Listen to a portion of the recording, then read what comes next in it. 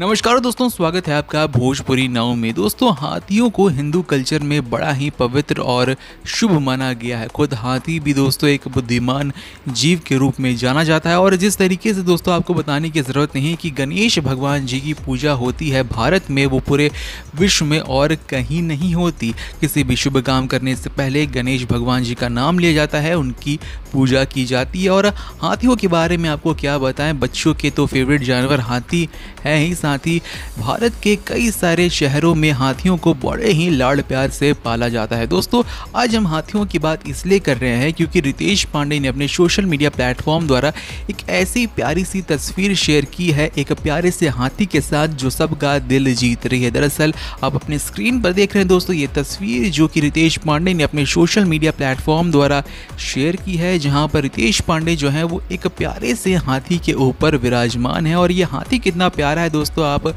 खुद ही देख सकते हैं। और इसी हाथी के ऊपर रितेश पांडे ने बैठकर ये फ़ोटो खिंचवाई है।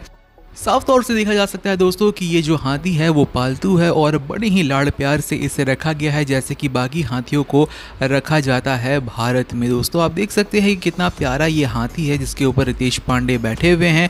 और दोस्तों, रितेश पांडे की जो तस्वीर है, वो कई लोगों द्वारा बहुत ही ज़्यादा पसंद की जा रही है। एक तो वजह ये भी है कि बच्चों के बहुत ही ज़्यादा प्यारे होते हैं हाथी दोस्तों, और इस हाथी की जो तस्वीर आप अपने स्क्रीन पर देख रहे हैं, इसके गले में आप अगर गौर फरमा फरमाएँगे तो एक प्यारी सी घंटी भी बंधी हुई है। तो एक प्यारी सी तस्वीर दोस्तों रितेश पांडे ने अपने सोशल मीडिया प्लेटफॉर्म द्वारा शेयर की है, जहाँ पर वो हाथी पर विराजमान है। और ये तस्वीर आपको कैसी लगी, ये कमेंट सेक्शन में लिखना ना भूले। आपको हाथियों से कितना लगाव है दोस्तों, वो भी कमेंट सेक्शन में लिखना ना भूले। इस वीडियो को लाइक करें, शेयर करें, जल्द से जल्द हमारे बीस हज़ार सब्सक्राइबर्स कंप्लीट करवाने में हमारी मदद करें।